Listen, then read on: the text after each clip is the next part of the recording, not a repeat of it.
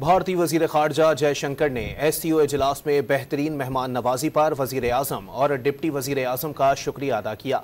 समाजी रबते की वेबसाइट पर अपने पैगाम में भारतीय वज़ीर खारजा जयशंकर ने बताया कि वो इस्लामाबाद से रवाना हो रहे हैं।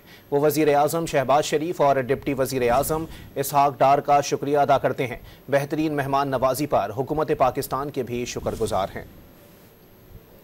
भारतीय वज़ीर खारजा जयशंकर ने एस सी ओ इजलास में बेहतरीन मेहमान नवाजी पर, वज़ीर अजम और डिप्टी वज़ीर अजम का शुक्रिया अदा किया। समाजी रबते की वेबसाइट पर अपने पैगाम में भारतीय वज़ीर खारजा जयशंकर ने बताया कि वो इस्लामाबाद से रवाना हो रहे हैं। वो वज़ीर अजम शहबाज शरीफ और डिप्टी वज़ीर अजम इसहाक डार का शुक्रिया अदा करते हैं। बेहतरीन मेहमान नवाजी पर, हुकूमत पाकिस्तान के भी शुक्रगुजार हैं।